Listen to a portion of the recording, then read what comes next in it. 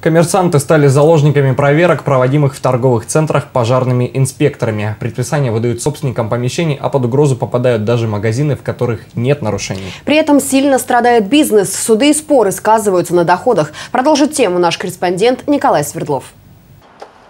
Вместо обычной двери противопожарная, вместо перегородки из гипсокартона основательная стена на складе. А еще проходы стали шире, на 30 сантиметров. Требования, которые предъявили пожарные инспекторы собственникам площадей в одном из торговых центров Первоуральска. Мы а, все замечания сейчас в данный момент устраняем, и до срока, который нам выведен, мы их устраним.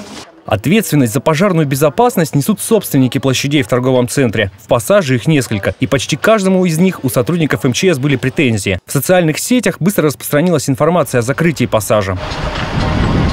Торговый центр «Марс» тоже планировали закрыть. Проверяющим не понравилось, что в здании на путях эвакуации стоят банкоматы, отсутствует пожарная декларация. Две недели понадобилось собственникам, чтобы устранить все предписания. Пассажу дали срок до 1 сентября. Заложниками ситуации оказались арендаторы помещений. Из-за судебных передряг пожарных и хозяев площадей могла быть нарушена работа магазинов. Бизнесмены, чтобы не нести убытки, подключились к устранению недочетов. Что делать в случае пожара? Подскажите. В случае пожара мы следуем до ближайшего эвакуационного выхода. Пойдемте. В магазине «Галамарт» пошли дальше, обучили сотрудников, как вести себя в экстренной ситуации. Оказались на запасной лестнице, спускаемся вниз на улицу, и мы в безопасности.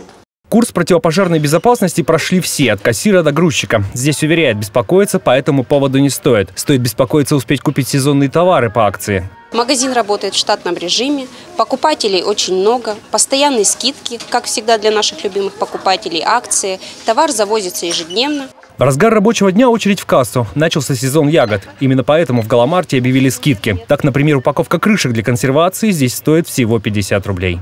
Николай Свердлов, Евгений Шилов. Новости Первоуральск.